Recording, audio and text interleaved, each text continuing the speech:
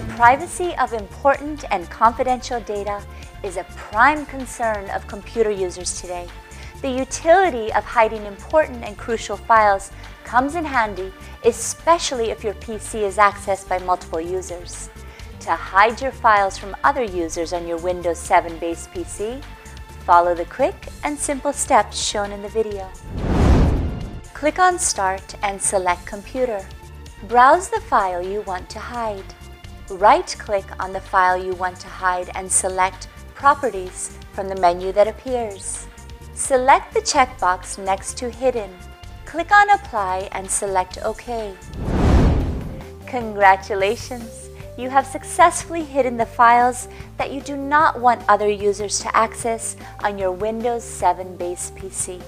If you face any problems related to your computer, operating system, software applications, or peripheral devices like printers, MP3 players, digital cameras, etc., then call iYogi and we can help you to fix it. Good karma.